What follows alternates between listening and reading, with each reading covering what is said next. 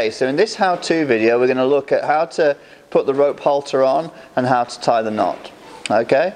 Now a common mistake I see when people are haltering horses, and that's not just with the rope halter, is that when they're putting the halters on they come up underneath the horse's chin like this and they flick the rope over the horse's head. Okay? Now this is a pretty nice quiet horse, she's my wife's horse, but even doing this here she felt a little bit uncomfortable. You see her kind of head comes up, it kind of startles her a little bit. And that's because we're coming underneath that jaw there and we're flipping it up. It's also got, it gives you that uh, risk there that you might hit her in the eye or you might kind of just, just startle her. And you know, little things like that with more sensitive horses can, you know, soon lead to problems, soon make them bad to catch.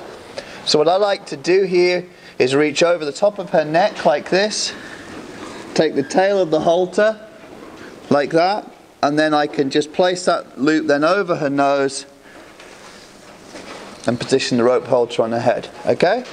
Now we're going to come to the knot and what I do with the knot here is I bring it from back to front here through that hole.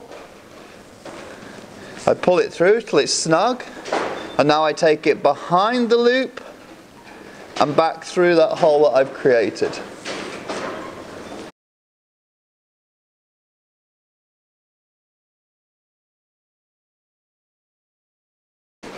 something like that. Okay, I hope that helps. Give it a go.